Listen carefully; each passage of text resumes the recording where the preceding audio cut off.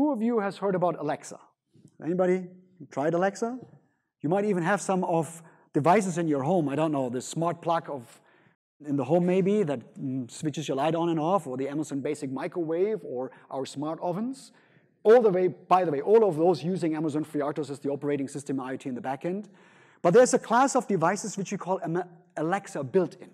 And Alexa built-in are those devices which you can directly talk to because they have a microphone and a speaker. So the Echo Auto, for example, is one of those. Put in your car, you can talk to it.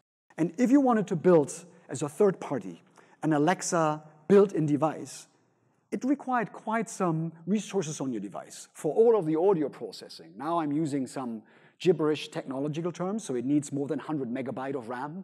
It typically uses a real microprocessor, um, uh, typically Cortex-A type of devices, which in, increase the E-BOM, so the BOM, it's a bill of material, and make the devices more expensive.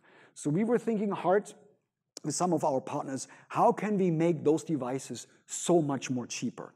And last week we announced what is called AVS, that stands for Alexa Voice, Integration for IoT Core, which reduces the bill of material and therefore the cost for building Alexa built-in devices by 50%. And the magic which you put down here is that we offload all of the local processing to the cloud.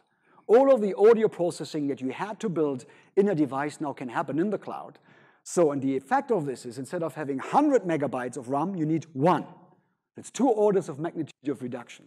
Instead of using a microprocessor, you can use a microcontroller which again is typically an order of magnitude in cost.